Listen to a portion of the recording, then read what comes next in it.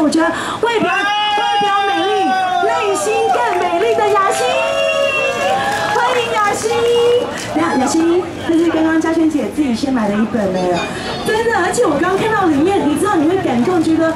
雅欣平常这么漂亮，这么忙碌，它里面所有的文字跟照片，八种造型，它在一个礼拜，甚至文字它是在两天之内就完成的，而且就是很难得是所有的酬劳，它都要捐给台东生命线协会。那这也是我今天特别从中午从公司赶来，我说我一定要来赞助这个活动，很开心。雅欣，跟我们女朋友多说几句话吧。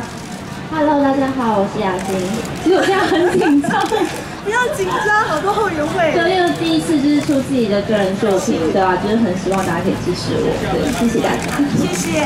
而且真的哈，那雅欣太客气了。我刚看了一下里面的内容啊，你这是八种造型，然后所有的包括妆法，我发现是连女孩子，不是只有宅男宅经济喜欢哦，是连女孩子都非常喜欢。你自己这一次做公益活动哦，这样搭配，你会觉得很有意义。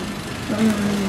因为其实我出道六年了，那因为之前作品其实都是偏性感成熟，然后就是别人都会有点比较距离的感觉。那这次就是想说跟大家讨论之后，想说可以就是比较符合像雅欣自己个性嘛，因为我个性其实是比较活泼、比较外向的女孩子。有，我有看微博，因为我有上，大家可以上雅欣的微博去看一下，她讲了一句话很有道理，她说台东它很遥远。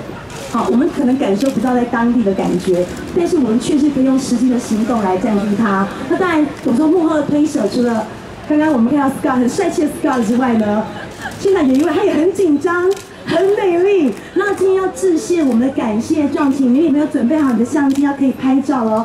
欢迎我们台东生命线协会的理事长林君红小姐，